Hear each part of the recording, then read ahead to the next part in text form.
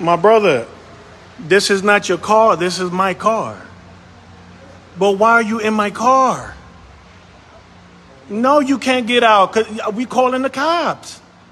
What do you mean for what? This is Grand Theft Auto. Y'all don't know what.